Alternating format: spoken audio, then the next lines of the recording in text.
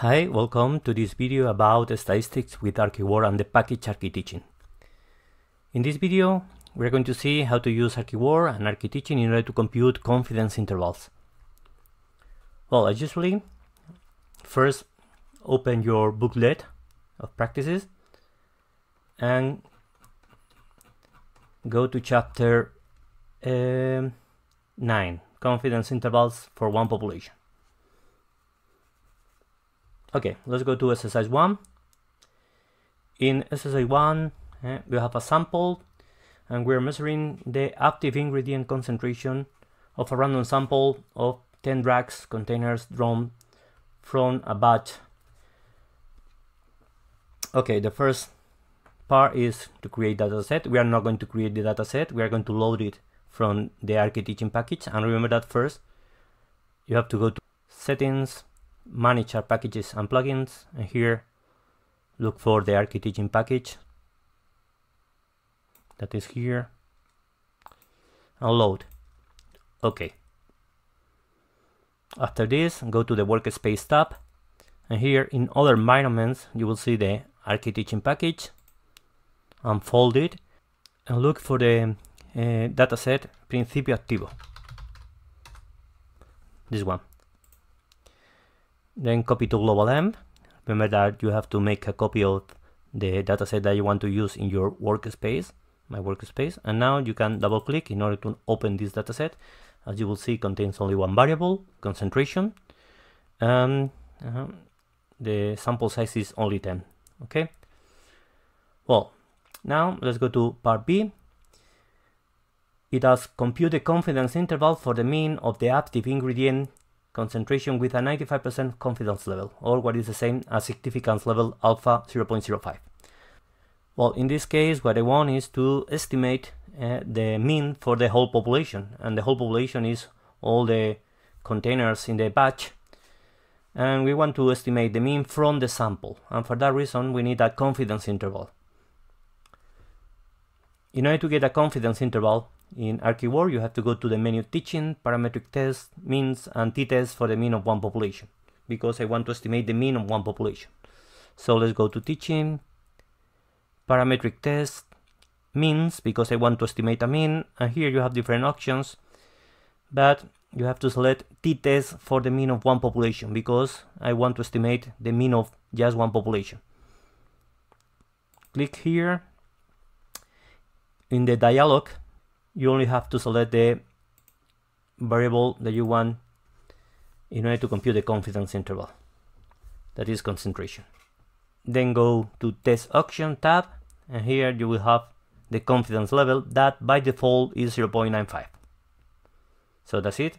Submit. And here you get a table with the confidence interval that appears in the last column of this table, eh, confidence interval for the mean. Okay, and here you have the lower limit of the interval from 16.68 and the upper limit up to 19.23. So I can say that the mean of the whole population of the whole batch is going to fall between 16.68 and 19.23 with a 95% of confidence. Here you have the confidence for this interval. Oh, let's go to part C in part C, it asks for the confidence interval for the mean again, but now with that 99% of confidence. So all you have to do is run again. And here, in test options tab, just change the confidence level, uh, increasing the confidence level up to 0.99. Then submit, and here you have the confidence interval with a 99% of confidence. Uh, going to be from 16.12 up to 19.19.79. In part D, it does it says that if we define the precision of the interval as the inverse of its width, how changes the precision of the interval when we increase the confidence level? Well, we can compare these two intervals, the interval with a 95% of confidence with the interval with a 99% of confidence. You have a look to the interval and compute the width uh, remember that the width of the interval, the amplitude is the difference between the upper and the lower limits. It's easy to see that the confidence interval for the 99% is wider. So that mean is less accurate than the interval for the 95%. So that means that when you are increasing the confidence level, the accuracy of the interval is going to decrease because uh, the interval becomes wider. This can be explained just uh, with common sense because if you have an interval and you want to be more sure, more confident that uh, the interval contains the parameter that you want to estimate, obviously you have to make the interval wider. Okay, let's go to part E. It asks for what's the sample size required to get an estimate of the mean of the active ingredient concentration with an error no greater than plus minus 0.5 milligrams cubic millimeter and a confidence level 95%.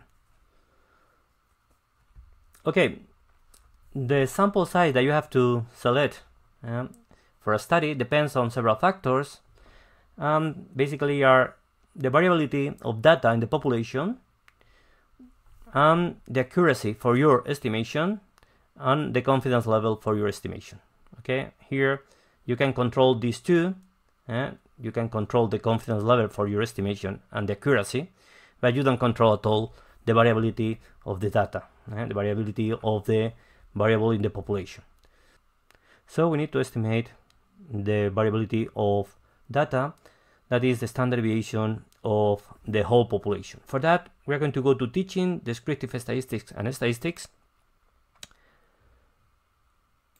and here select the variable concentration and go to basic statistics and here instead of selecting standard deviation we are going to use as an estimator of the standard deviation of the population the corrected standard deviation of the sample. The reason is that the standard deviation of the sample always underestimate the standard deviation of the population, so it's not a good estimator. And we have to correct a little bit eh, these statistics in order to get an unbiased uh, statistics, an unbiased estimator. Uh, and this is the corrected standard deviation. Just submit, and here you get the corrected standard deviation. And we're going to use this value as an estimator of the standard deviation of the population. So we are going to copy this value. And then, in order to compute the sample size, you have to go to teaching parametric test means and sample size to estimate one mean. So let's go to teaching parametric test means and sample size to estimate one mean. Here, in this dialog, first you need to enter the estimation for the standard deviation of the population, that is the value that we have computed previously. So here I can paste this value. And then the confidence level that you want for your estimation, eh, in this case is 95%. And also, finally, eh, the accuracy or the error that you want for your estimation, that in this case is 0.5.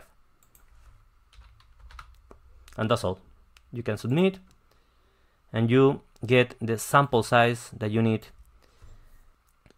So that means that if you want to estimate the mean of the concentration with a an error no greater than plus minus 0.5 milligrams and a confidence level 95%, you have to pick approximately 52 containers in this sample. This is very interesting because yeah, always before starting a study, you have to design the random experiment. And one of the first things you need to know is how, how many individuals should you pick in your study. And now we can answer that question eh, back because it depends on and uh, what parameters do you want to estimate and what's the accuracy and the confidence level that you want for your estimations. The last question is if the active ingredient concentration must be at least 16 milligrams milli cubic millimeter in order to be effective, can we validate the batch? Well, using the confidence interval with a 95% of confidence, that is the default, this is 1, as the confidence interval goes from 16.68 up to 19.23, the whole interval is above 16, so I can say that the mean that is supposed is going to fall into the interval is going to be above 16. Therefore, we can say that this drug is going to be effective. This with a confidence of 95%. Remember that we are not 100% sure.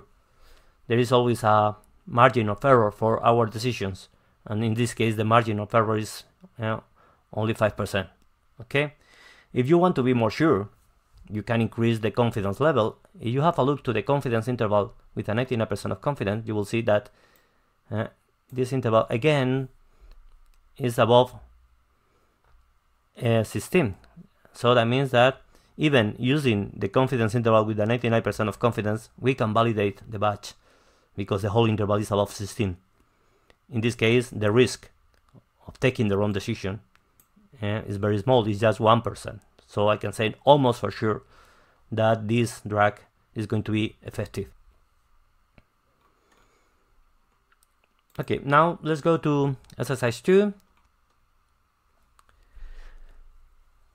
In this exercise, we, ha we have a sample uh, from milks that comes from two farms, X and Y.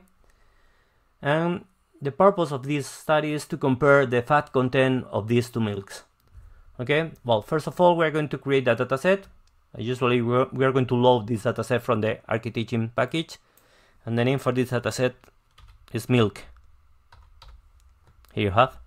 We're going to make a copy, copy to global env. And now you can open this dataset. And as you can see, it contains two variables, fat, the fat content that is numeric, and also the farm. You know, the farm that is a factor it's a qualitative variable that contains two values, x and y, the farm where the milk comes from.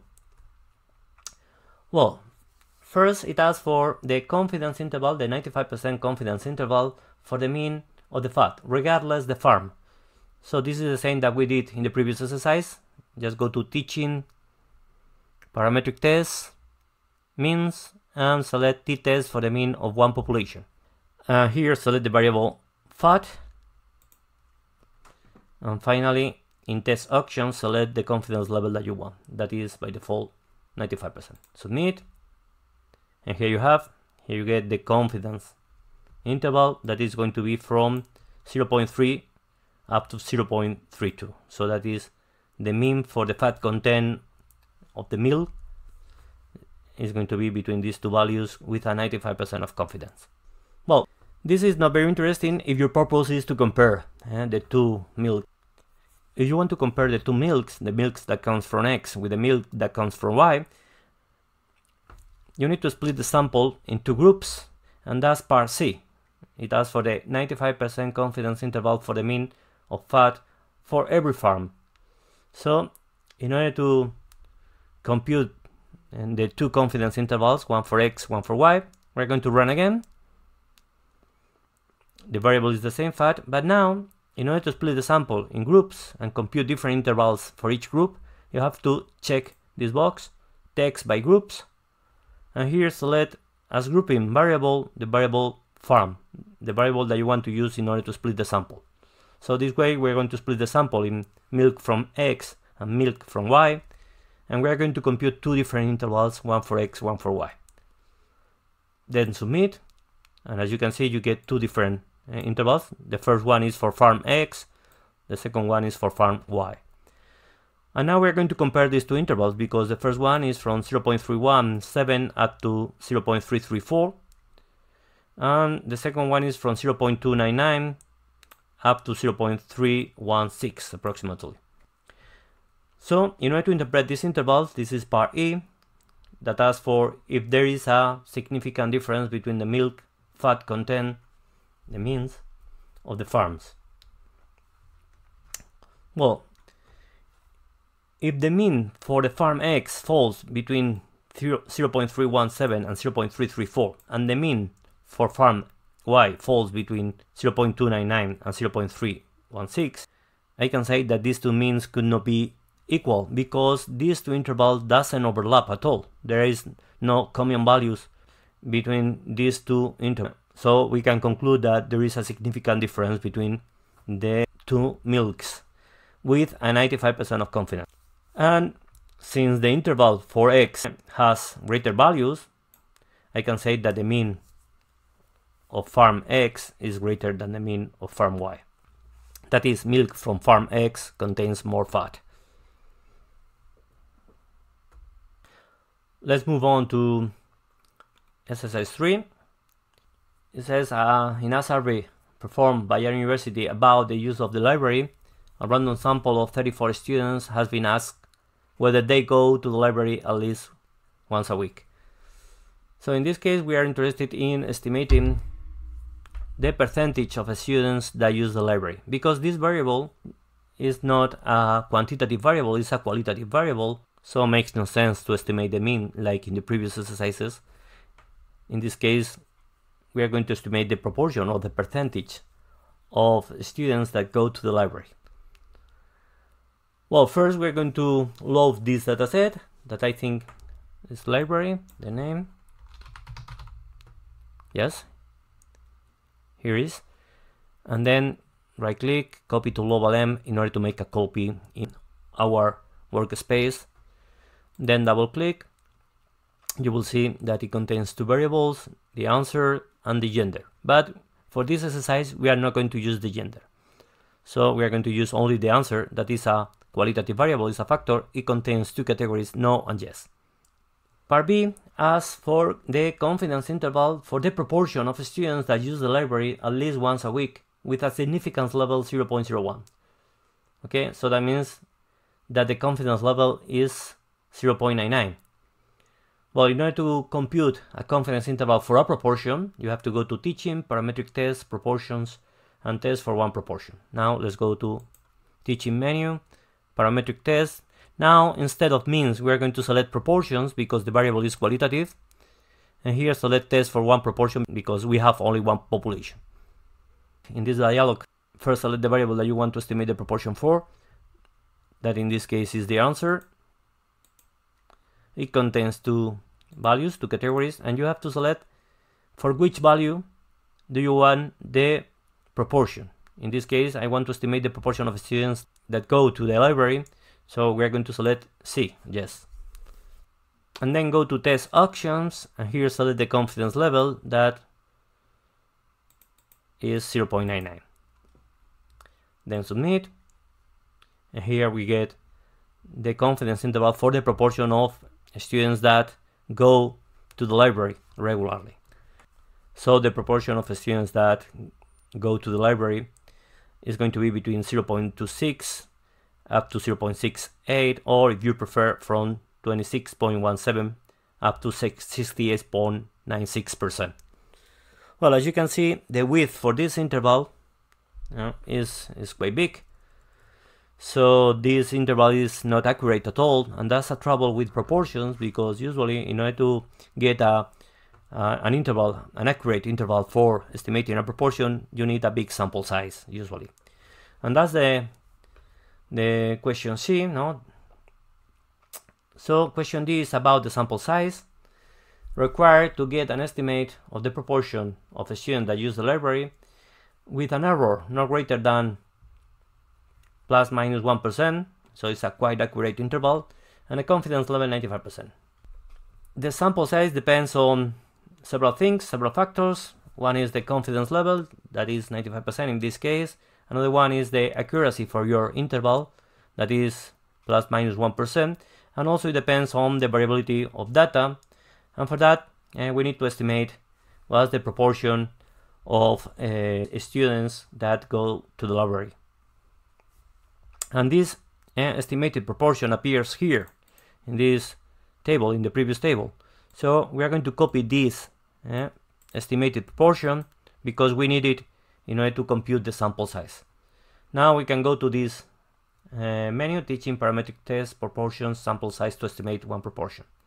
Teaching, parametric test, proportions, and sample size to estimate one proportion.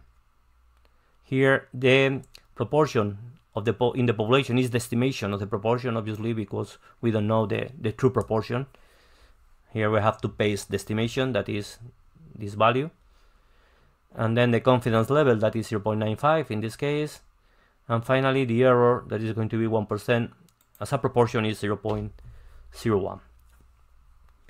Then submit and here you get the sample size that you need. As you can see it's quite a big sample. Uh, you need approximately 9,570 students uh, need to be asked uh, in order to estimate the, the true um, percentage or proportion of students that go to the library with an error no greater than 1% and a confidence level 95%.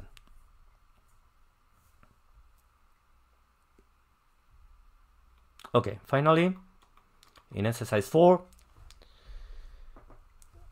it says the Ministry of Health wants to compute a confidence interval for the proportion of people over 60 with respiratory problems that have been vaccinated. For that, we have a sample of 200 persons over 65 with respiratory, problems, and we know that 154 of these were vaccinated. So first, compute the 95% confidence interval for the proportion of people over 65 with respiratory problems vaccinated. Well, in this case, we are not going to create a dataset because in order to compute the confidence interval for the proportion, is enough the frequency of the sample. And here we have the frequency of the sample, 154. Okay, so we don't need to create a dataset. So we are going to go directly to this menu, teaching is a previous menu, parametric tests, proportions, and test for one proportion because we have only one population. And here, instead of using a variable because we have we haven't defined a, a data set nor a variable, we're going to mark this manual entry of frequencies. And here all you have to do is enter the sample frequency, in this case is 154, and the sample size, that is 200 and then in test options the confidence level that you want that is 95% in this case and then submit. So this way even if you don't have a data set eh, you can compute the confidence interval for the proportion. That is going to be eh, the percentage or the proportion of people vaccinated is going to be between 0.704 up to 0.825 with a 95% of confidence. And finally the last question is if the Ministry of Health goal is to achieve at least 70% of people over 50 with respiratory problems vaccinated, can we say that the Ministry of Health has achieved the goal?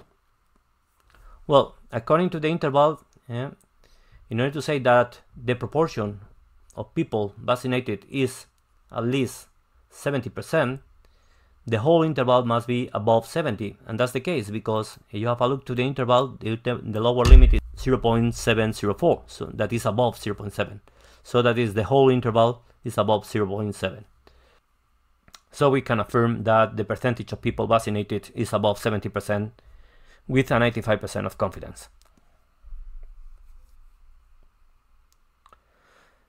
Well and that's all for this practice. As always I propose you to try the these exercises. And thank you for watching this video. Bye